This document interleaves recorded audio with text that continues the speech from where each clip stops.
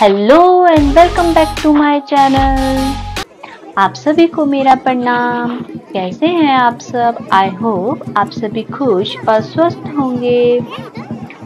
तो आज है मंडान का पांचवा और आखिरी दिन, क्योंकि कल है मेला और ध्वजा कल जाएगी खेलिंग आज मंडान का लास्ट डे है तो भीड़ भी बहुत ज़्यादा हो गई थी। खैर, अब आप मंडान का आनंद उठाइए और खैरलिंग महादेव और काली माँ का आशीर्वाद लेकर ही जाना। हर हर महादेव, जय माता की।